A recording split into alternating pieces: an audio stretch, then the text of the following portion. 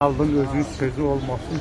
Sülh müstəfizi hasilə həbs olunanlar şəxslərlə bağlı və mən doğrudan da bu baxdım bu hazırlıq prosesinə daha da biabır olmamaqdan sarı bu işi yenidən qaytarmaq lazımdır İbtidai sintaqa.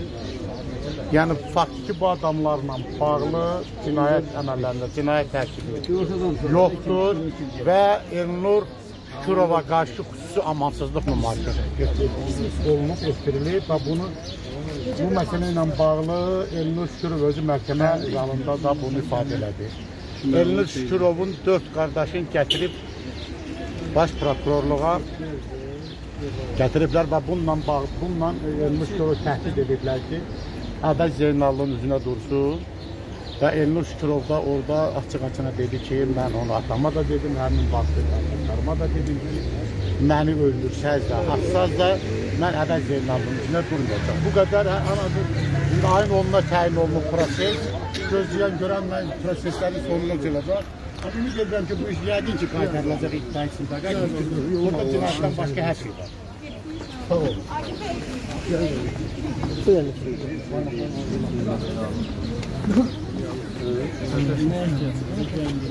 Necə deyirsiniz?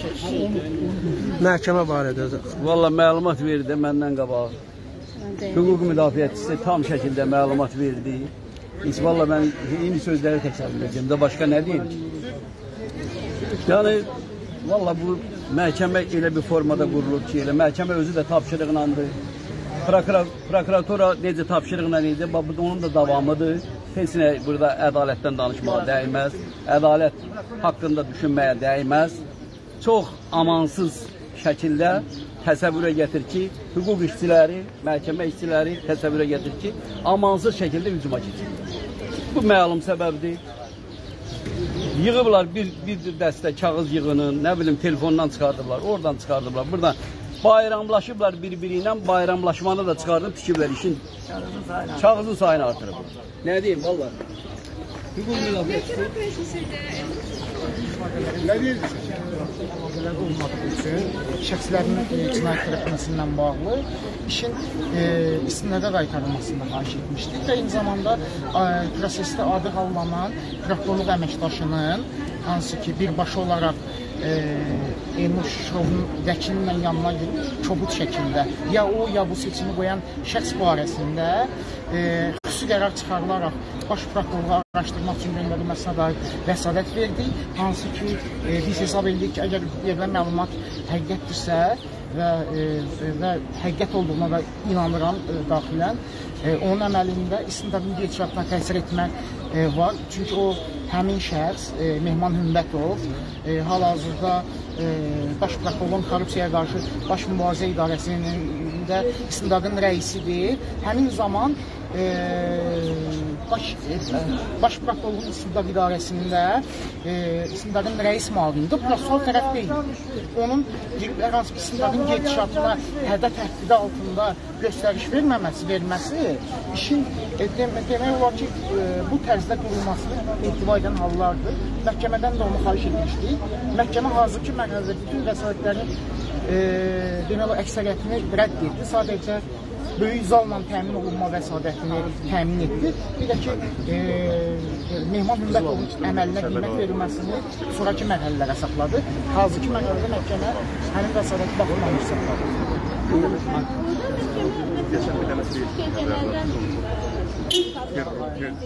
Yəni Elnur Şurov deyir ki, mənim övladlarımın oğurlanmasıyla bağlı, mənim ailəmin girov saxlanılmasıyla bağlı mən o qədər təhdidlər olub ki, yəni mən e, e açıq-aşkar o da deyir ki, yəni mən ölərəm, e, yəni mən əvəz Zeynallıya olmayan məsələyə görə üzünə hər hansı ifadə verəcək deyiləm. Yəni bunu tələb etmişlər. Bəli, yəni adamdan tələb edirlər. Yəni müxtəlif vaxtlarda. Aqil bəy, məhkəmənin gedişi sizdə hansı təəssüratlar yaradır? Yəni sizə Aqil bəy, e, Yəni məhkəmə- bir neçə e, Məhkəmənin gedişatı, yəni məndə de dediyim kimi də, yəni əgər belə bir fakt varsa, cəza cəza təhdidi altında istintaq aparılırsa, hədə-qorxu istintaq aparılırsa, o geri qaytarılmalıdır. Hə bu orada verilən ifadələrin və da aparılan e, bütün məsələlər hamısının qondarma olmasının birbaşa göstəricisidir. Yəni qaytarılmırsa, yəni, yəni o qədər də ümidli deyiləm.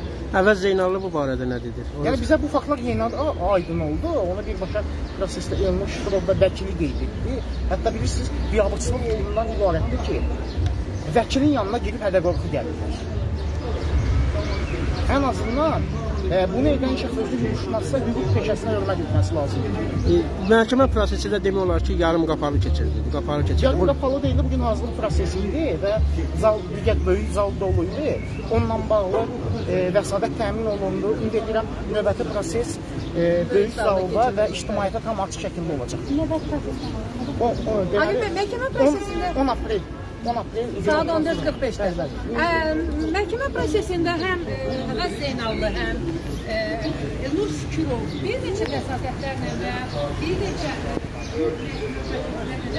olmayan məsələləri mətbuata açıq olmayan məsələləri açıqlandırdılar. Və siz bununla bağlı bir vəsatət qaldırdınız. Mehman Hümbətovun məsələsinin araşdırılması ilə bağlı və yeganə bu idi ki, e, net cavab verilmədi, baxılmamış vaxt qullanıldı. Necə düşünürsüz? Mehman Hümbətovla bağlı hər hansı bir hüquqi tədbir görülə bilər, hüquqi müstəvidə hər hansı bir təqib başlaya bilərmi?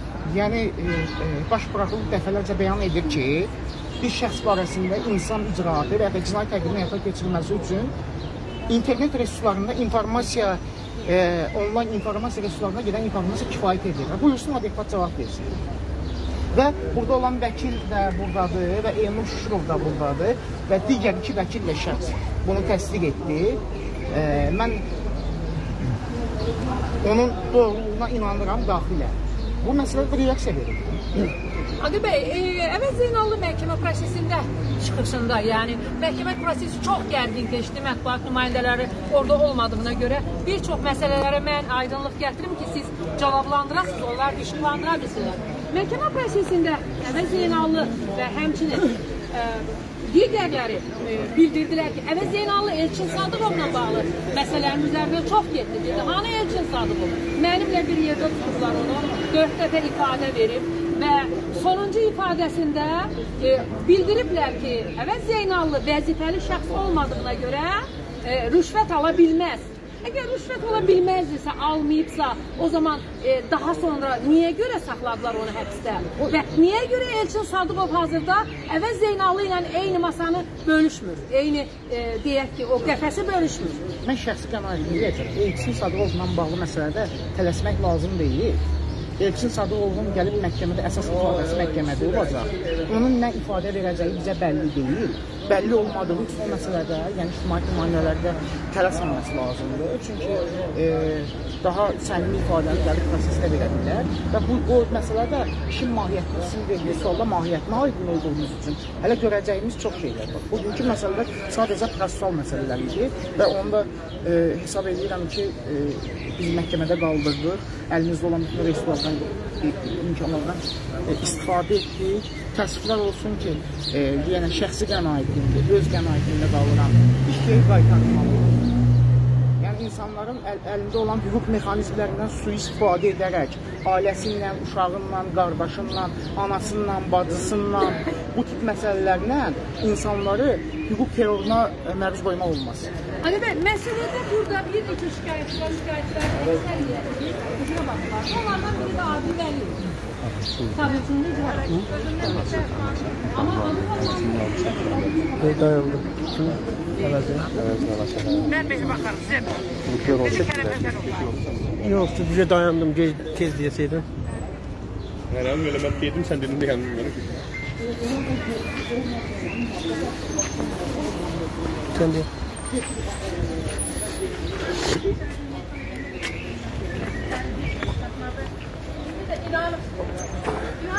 bu dövləti idarə edirsiniz. Bu dövlətin idarəçisi sizsiniz. Yəsi sahibi sizsiniz. İnanın sizə müraciət edirəm. Bizi bunların Kərəm Həsənovların əlindən alın. Bizi bu ə, adı da yadımdan çıxar. O təhdid edən o müstəntiqlərin əlindən alın. Deyən ki, sən əvəzin üzrə durmasan səni. Adam deyir, deyir, bunlar adam dil bilmir, vəkili deyir, ha? Elnurun vəkili deyir bu sözü. Bunlar adam dili bilmir, cinayət şahsın qoyun gitsin. Adam dili bilmir. Səhhəti necədir Əvəz bəyin? Səhhəti gözündə problemlər var, qataraktı var, şəkəri var, təzyiqi var, səhhət tepik. Saxlama şərtindən narazılıq eləməyib? Yox, narazılıq elə. Saxlama şəraitindən nə PTK-dan narazılıq eləmir nə bu. Elnur bəy öz səhhətlə bağlı nəsə dedi burada. Görüş Gəncələr. Elnur bəy kəl oğlu kaldı, şir oğlu şirdi. Elnur bəy nə səhhətində nə, nə deyiləcək? Pəhlivan kimi hamiyə meydan oxuyur, hamiyə. Elnur'a əvəzin anası qurban olsun, Elnur'un qeyrətinə. Mənim kimi analar qurban olsun. Elnur kimi oğlu nə bilim heç heç arda indən belə nə aşağıda, nə yuxarıda, nə bu, bu müdafiəçilərdə mən görmürəm elə o.